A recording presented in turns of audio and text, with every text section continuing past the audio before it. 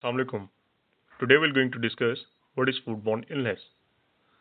So once you read this term, you're going to know what actually it is. So as it states as foodborne illness, it means the illness that is caused due to the food.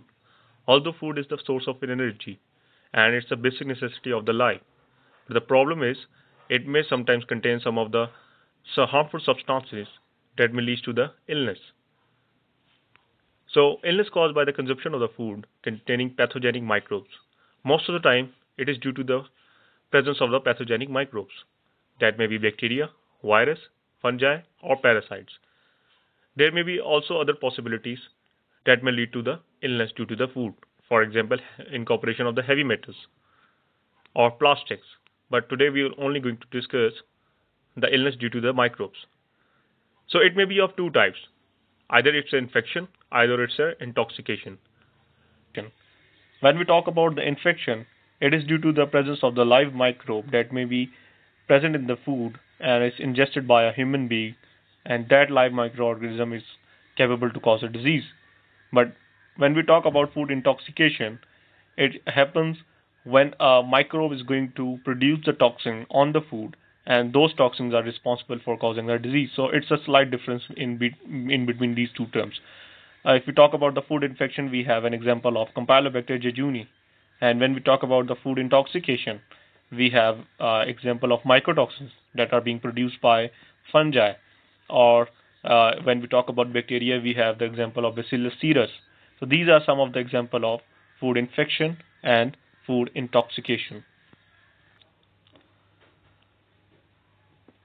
So let's see what WHO has to say on the outbreaks of the foodborne illnesses.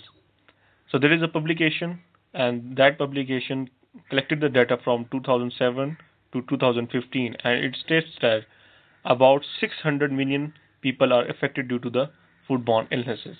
And out of those point, approximately 0.4 million may lead to the death.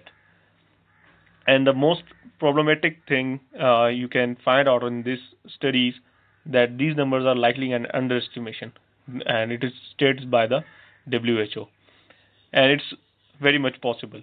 You know that uh, when we are talking about uh, underdeveloped countries most of the ca cases are not documented or even not diagnosed. So it's a great possibility that these numbers are way far from the actual reality of the picture. So we need to know what are the common causative agents of causing the foodborne illnesses.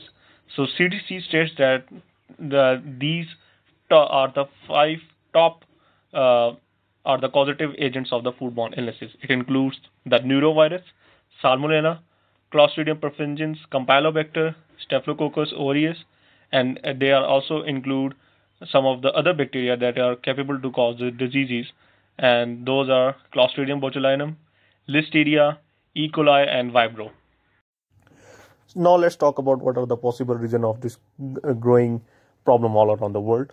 So globalization is contributing to this problem. One of that, although it's uh, has put up a lot of advantages to the human beings, uh, but the one uh, problem is there that uh, once the globalization uh, is getting its elevation, and there is also increase of the trade practices. So once the trade practices has been increased, there is a lot of possibility that there may be a loss of control on the surveillance system and uh, on on the monitoring system due to the uh, pressure buildups of uh, growing trade practices, and it may result in an outbreak of a disease. Similarly, now you can see that the food products are produced for a longer period of a shelf life, and again, it's a benefit but the darker side of this problem, uh, bacteria is also getting enough time for the proliferation within such kind of the food, and even they're getting enough time to get immune. Another reason uh, for this growing concern is a change in our lifestyle. Now you can see that most of the time we are dependent on the ready-to-eat foods or on the uh, from the restaurants or from the street vendors. Uh, the problem is that we are not certain about their hygienic uh, standards and usually they are highly contaminated with the microbes and that's why the outbreaks of the foodborne illnesses are really getting very common so that's all for today inshallah we will be coming up with more stuff with like that that are related to the food safety and how we can prevent them. Stay tuned, stay safe. Allah Hafiz.